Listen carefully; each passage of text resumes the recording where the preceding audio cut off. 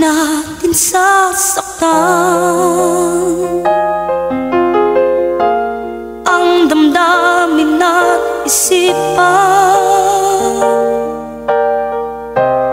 Di ba kayang tanggapin Ang pagsupok na tumating